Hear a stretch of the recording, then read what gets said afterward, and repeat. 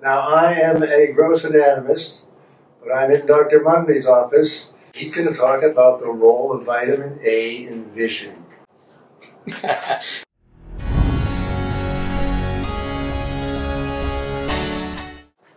Hey everyone, Dr. Mungli here. So let me explain you what is a visual cycle in this particular uh, video.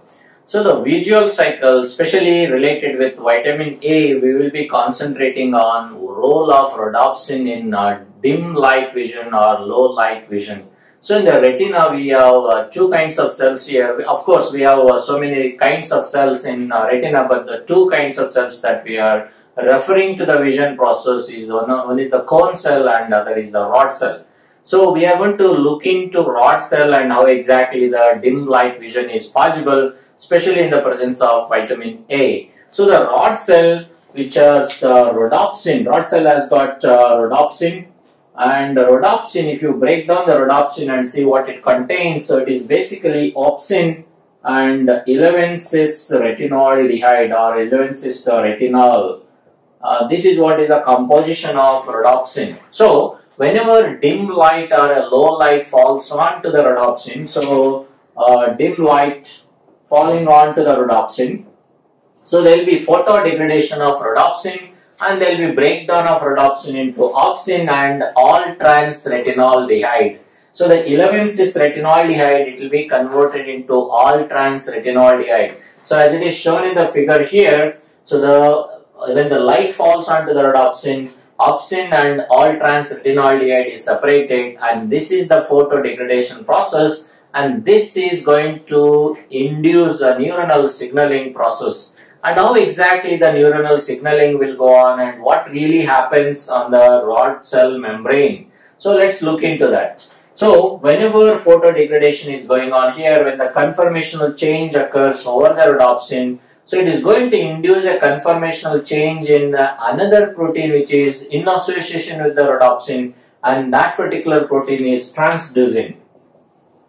Now this transducin is a G protein coupled molecule. So it's a G protein basically. It has got alpha, beta and uh, uh, gamma subunit. So whenever rhodopsin undergoes photodegradation, so there will be changes in the conformation of the transducin where uh, GDP is now replaced by GTP as it is shown in the figure here. So the GDP is taken out and GTP is released and during this process so alpha, sorry, beta and gamma subunits are separated from alpha subunit which is associated with the GTP now.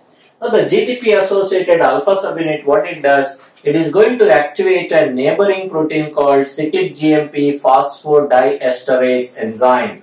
Which is there over the cell membrane. So uh, alpha associated GTP, G, alpha subunit with the GTP is going to activate cyclic GMP phosphodiesterase. So what this phosphodiesterase enzyme does, what this cyclic GMP phosphodiesterase enzyme does, it is going to convert cyclic GMP into just GMP. Cyclic GMP is converted into uh, GMP molecules. So basically a second messenger cyclic GMP concentration is going to go down whenever cyclic GMP phosphodiesterase is activated. So what will happen? So in this normal cyclic GMP concentration is non uh, concentration has to be maintained in the rod cell because this helps a sodium channel to be in open conformation over the rod cell membrane. So whenever you have sufficient cyclic GMP in the rod, uh, rod cells, sodium channel is op in open conformation, sodium is moving in, that means more and more positive charges are moving in. So when the more positive charges are there, that means membrane is in depolarization state and that will open up the calcium channel and more calcium channel coming in, uh, calcium coming into the cell, uh, into the rod cell and more calcium means more and more release of glutamate from the rod cells into the bipolar cell junction. Uh, there is a junction, the junction between rod, rod cells and the bipolar cells. So the glutamate, glutamate amino acid is released and this glutamate it is acting as an inhibitory neurotransmitter that's why under normal condition when sufficient light is there during that time uh, rod cells do not participate in vision process because glutamate which is released from the rod cells will be acting as an inhibitory neurotransmitter. Now what exactly happens under the dim light vision whenever low light is there? So low light means photodegradation of rhodopsin, that means transducin is activated, that is going to activate cyclic GMP phosphodiesterase, that's going to convert G, uh, GMP into just GMP, that means cyclic GMP concentration decreases. So whenever cyclic GMP concentration decreases during that time, so the sodium channel, so sodium channel will close. So because cyclic GMP is needed for sodium channel to be in open configuration. So when the sodium channel is closed, that means there will be decrease in positive charges within the rod cells. That means relatively more negative charges are increased and that causes hyperpolarization of uh, rod cell membrane. Normally rod cell will be having a minus 30 millivolt as opposed to other cells which have got minus 70 millivolts. Rod cells will have minus 30 millivolts. So because of the closure of the sodium channel, because of this hyperpolarization occurs. So hyperpolarization means minus 30 is converted, means increased to minus 35 millivolt. So minus 30 millivolt is increased to minus 35 millivolt that is a hyperpolarization, partial hyperpolarization uh, process. Because of this hyperpolarization, what uh, uh, because of this what happens? Calcium channel will close. Hyperpolarization will close the calcium channel. When the calcium channel is closed, so calcium concentration within the rod cell will decrease and decrease in the calcium concentration will decrease exocytosis of glutamate from the rod cells into the bipolar cell junction so now glutamate release is decreased. As I said before, glutamate is acting as an inhibitory neurotransmitter. Because of the closure of calcium channel, uh, release of glutamate into the neuronal junction decreases. That means inhibitory effect of glutamate is taken off. That means the signals are moving from rod cells into the bipolar cells and then into the optic cortex. This is how under dim light. So uh, vision is possible, made possible and that is all because of the molecular events that are involved here that I have explaining here.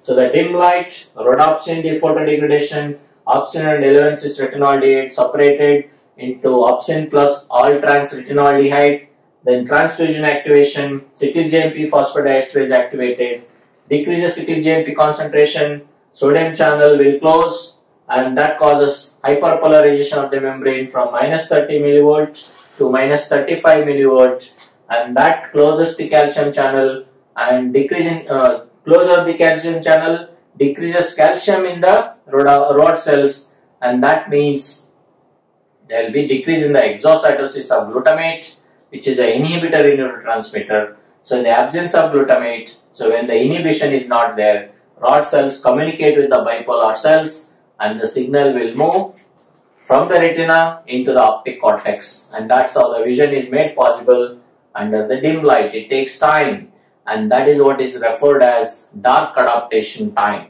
Okay, whenever there is an increase in the dark adaptation time, that is an indirect indication that there is a vitamin A deficiency, especially uh, vitamin A in the form of 11-cis retinaldehyde is the one which is involved in uh, dim light vision or low light vision.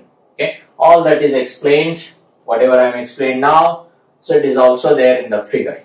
I hope this video has uh, helped you to understand what is the molecular event, what are the molecular events that are going on in a dim light vision, especially in connection with uh, vitamin A, that is the 11-cis retinaldehyde form of vitamin A. So thanks for watching. If you have any questions, so put that question in the description in the comment section below. If you like the video, give the like button and also uh, click the subscription button so that you get the regular updates on the new videos that I'll be uh, uploading. Thanks again and uh, see you in my next video.